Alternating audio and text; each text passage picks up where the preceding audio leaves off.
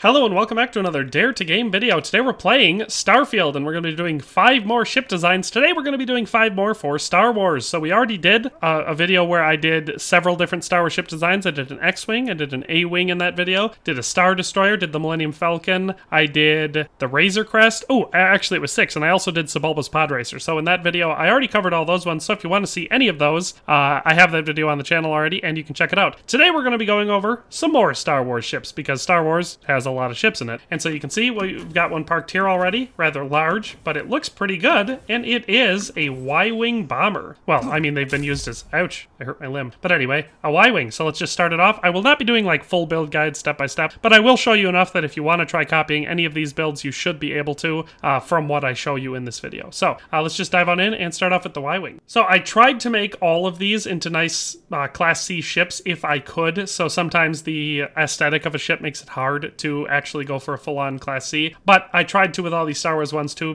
uh, to make the stats as good as possible, and I, it turned out pretty good in the end. So uh, you can see our Y-Wing bomber here is Class C. We've got two full weapon batteries, and you could obviously just add another gun to make the third one full. Uh, I ended up going with, uh, even though this is Class C, you can see that our grav drive isn't all the way to the top, but I think it works out really well, and I think the aesthetics, I kind of nailed it here. I know a lot of people have tried uh, Y-Wing designs already in this game, and I've liked some of them and disliked others. I personally think this one that I've come up with is the best of them all. So, uh, as far as the design goes, it's a relatively straightforward build. This one's pretty easy, I think, to imitate as long as you've got the parts for it. We have the Deimos 120 LD landing bay up here off the front. Right behind that, I've got uh, a 2x1 hab. I just have a living quarters, so we have some space in here. Above our landing bay and living quarters, we just have two more 2x1 living quarters. So we have the, uh, I have another living quarters here and a captain's quarters up the front. So total for habs is just three 2x1s. Uh, then off the front of uh, this hab here, we have a Cabot C4 Nova Galactic bridge, which gives us a ton of interior space and helps with the front shape of our Y-Wing really, really well. So I love the way that turned out. Uh, but that's it for habitation space and drive and everything. You can see we have our docker right above this hab. This ship's really easy to navigate because it's not overly big. If you want to have plenty of crew in here, I just say turn all of the habs that you have on here into living quarters. Maximizes the amount of people you can bring with you places. Um,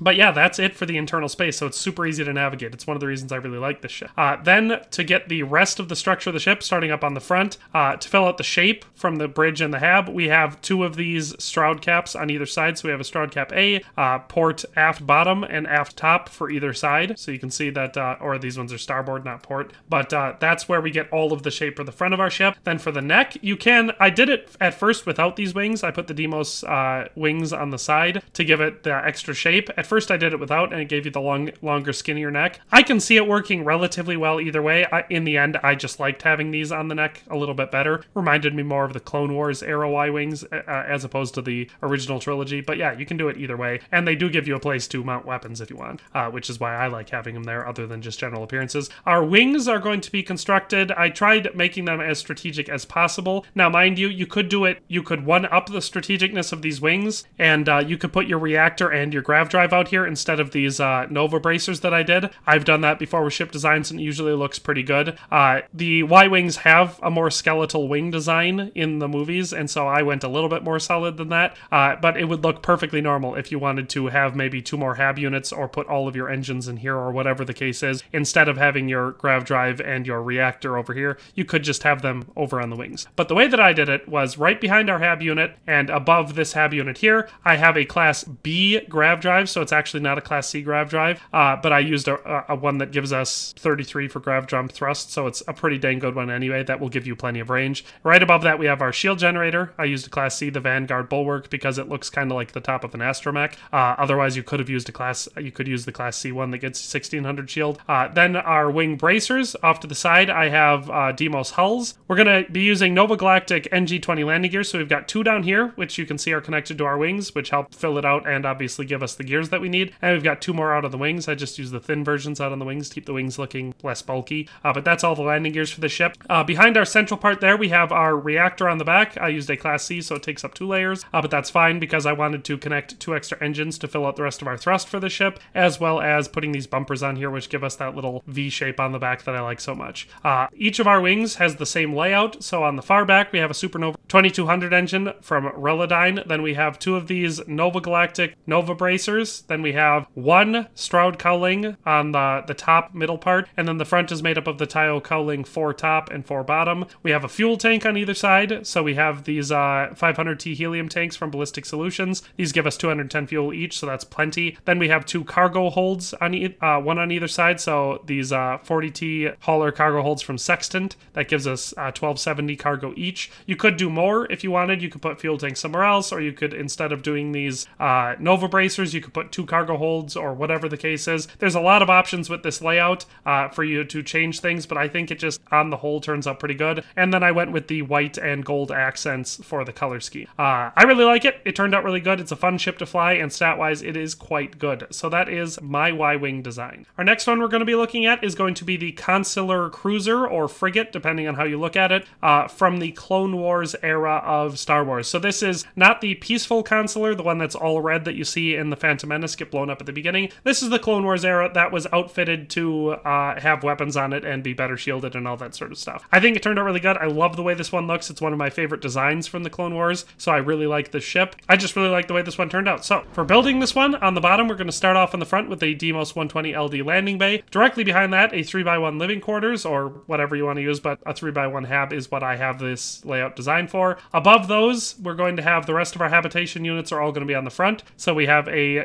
2x1 living quarters here, and then a two by one workshop on the front. Directly in front of that, we have a Deimos companionway, and above that, the Kon-Tiki B400 bridge from Stroud Eklund. That gives us a decent shape for the front of this ship. And that is all of the habitation space. So one 3x1 on the bottom, you got your landing bay, and then two 2x1s, a 1x1, and your bridge. The rest of this is all structural and functional. So for landing gears, you can see we just have these three uh, Nova Galactic landing gears on the back. That gives us all the thrust we need uh, and keeps the lines of the ship looking pretty good. Behind that, we've got two of these uh, Sextant 40T hauler cargo holds, so plenty of cargo space. Our rear engine alignment arrangement is three of these Supernova 2200 engines, which gives us plenty of thrust and obviously just looks really good because it, it's how the engines look uh, on the Consular class in the Clone Wars. Then we have some Deimos hulls to connect them. On top of those, we've got the fore and aft uh, Hope Tech caps giving us the best of the or the rest of the shape on the back. Then we have our nose cap uh, from Taiyo on each engine on the sides. Then our core and our, our reactor and our grav drive are centrally located. You can see we've got a sheared flow SF40 for our reactor and a J2 gamma drive for our grav drive. Our shield generator is right above the grav drive. Then we've got some uh,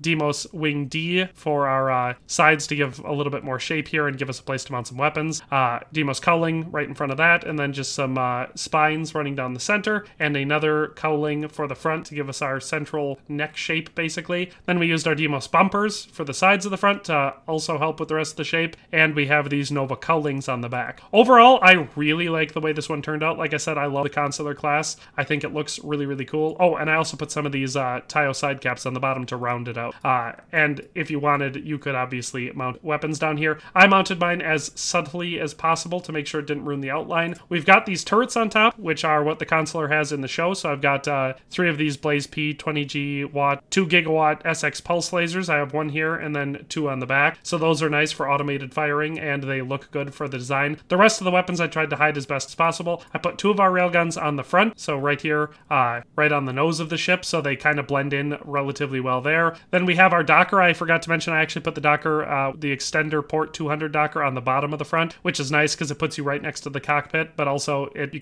can't see it on top, so I like that. Uh, then our other weapons are all hidden as well as I could, so you can see we've got these uh, auto Hellion beams, uh, and I have all of those mounted on the bottom. So I've got two mounted on the bottom of these wings, and then two mounted on the bottom of the cowlings. And I put I needed one more for the auto Gauss gun, so I have it mounted down on the side here. So I, I only have that on one side. I like to keep things symmetrical, but in this case, it was more important to me to hide the extra weapons. So that is our Consular class. Next up, we're going to be doing the Ebon Hawk, which, if you're familiar with some of the older Star Wars games, like Knights of the Old Republic, you'll probably recognize this one. It is a pretty dang good ship, just in general, and I really like the way I was able to get it to turn out here in the game. You can see we once again have a Class C ship with just really good stats across the board. Nothing to complain about there. Color scheme is uh, kind of tricky because depending on what picture or video you look at, it's got, you know, slightly different looking colors no matter what. So I just went with this sort of a, I don't know if you call that a mauve, but a kind of brownish pinkish color with the darker gray accents and lighter gray for the secondary color. And I think it turned out looking pretty good. As far as building this one, uh, it's a little bit more complex than other ones we've looked at uh, so far in this video, but still relatively straightforward. Have a rear-facing Deimos 120 LD landing bay. Directly in front of that, we've got some landing gears. So you can see my landing gear layout here is a little asymmetrical, but the ship is too, so it works that way. We've got three of these Nova Galactic landing gears. The one that I did a double is right in the middle. Then we have uh, the thin ones over on the side and one over on this side. So two on this side, one on this side. Uh, then we just have a Stroud nose cap on the front, and that gives us the front shape of our bottom layer here. Uh, the rear of it on the bottom layer, uh, next to our landing bay, we've got two of these 10T cargo holds, so they give us a little bit more cargo space. And then off the side, we've got these Stroud uh, caps on the on both sides that give us the rest of our shapes and give us a place to mount some weapons. Our engine layout on the back of this one, we've got two, our four of these SAE 5660 Slayton Aerospace engines on the back. Uh, as far as the habitation layout for the ship, so you can see our landing bay is right here. Directly above that, we have a three by one living quarters. In front of that, we have our Viking cockpit. Above that 3x1, we have uh, a 2x1 captain's quarters, and behind that, a Stroud companionway. Uh, the companionway, I just like having it there basically because I liked the way it looked when I built it. You don't need it structurally, so you could very easily uh, just put a lower mass structural component there if you want. Uh, but we also have habitation units out on the side. So the central located 3x1 that we have there, we then have two companionways, one on either side, and those lead us into our side hab units. So we have uh, two more 2x1s. I have a living quarters here and a science lab here, and then a living quarters here and a workshop here. So it's actually a pretty large ship. You can haul plenty of crew on this, plenty of internal space. You can have all your workshops, all that sort of stuff. Uh, as far as our functional components, we have our Class C reactor off to the back here, blocked off by this companionway and the landing gear below it. And then our grav drive on the other side, same thing. It's blocked off by a hab and a landing unit, so you can barely even see them. Behind that on both sides, we have a fuel tank, so a 500T uh, fuel tank from Ballistic Solutions, giving this ship plenty of drum fuel. Then we have our, you can see our shield reactors on the back here, so it's pretty well hidden. Our docker is up on the front, so that's nice and close to our cockpit, so it's easy to enter and exit the ship. Other than that, it's all structural components. So you can see I used a lot of these Stroud caps for shapes. Our front little wing sections are the Stroud nose cap C. Then we have our Deimos bumpers off to the side, and then we're just running some Deimos spines down the center of these wings. I put some uh, portholes in because I like the way it looks on the ship, and it makes the inside of the ship more lively since you can see out at all angles.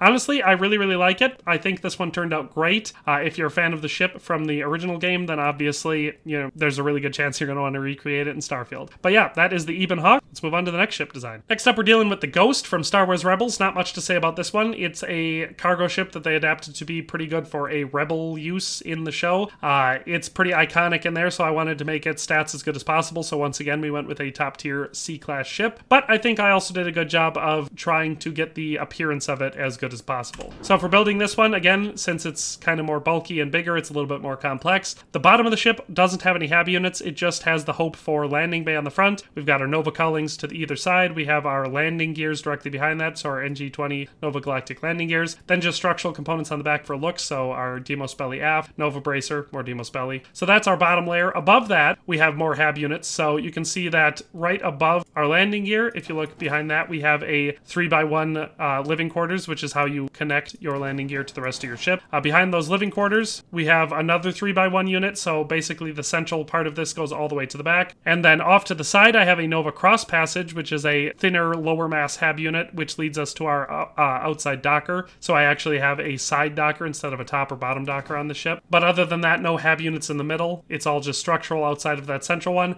Above the middle hab unit, if we move this off to the side, you can see I have a 2x1 up to the front, which connects us to our cockpit and connects to those 3x1s that are down on the uh, middle level. And then on the back, you can see we have another two by one, which this time is a workshop. Directly behind that, we're able to fit in our uh, Class C reactor, and in front of that, our Class C grav drive. Uh, the rest of it is all just structural. So, like I said, we just have centrally stacked hab units leading from our landing bay up to our cockpit. Our landing gear is off to the side, so or our docking port is off to the side. The rest is structural, so you can see we're using these Stroud caps for a lot of our structural, as well as these Nova cowlings. So you can see we've got those located around. Our engine layout is uh, we have two SAE 5660 Slayton engines on either side, and then above those on the rear, mounted, you know, in the back spot spot of the ship, we have two of these White Dwarf 2330 from Reladyne uh, Solutions. Then our weapons array, we've got some turrets on this one. So I've got a pulse laser turret on the back, and then two on the sides, and then we've got our front-facing ones. I put uh, four of these PBO 175 auto Hellion beams, and then we've got our Gauss turrets located on the bottom. So overall, very very very powerful ship. I love how maneuverable it is. For the color scheme on it, since the Ghost, I believe, should be white, but it's super dirty in the show, so it kind of looks grayish green. I went with a grayish green color for it and gave it some yellow accents like the Ghost has in the show. I think it turned out really good, and it's a pretty iconic ship that a lot of people really, really enjoy. So yeah, that's how you make the Ghost. Next up, we have one of my all-time favorite Star Wars ships. This one's actually pretty simple to build. This one is the N1 Starfighter from uh, the Phantom Menace, so one of the coolest ships that the prequels ever came up with. Uh, we once again were able to make it pretty dang good stat-wise, uh, Uh, while still maintaining a pretty solid appearance.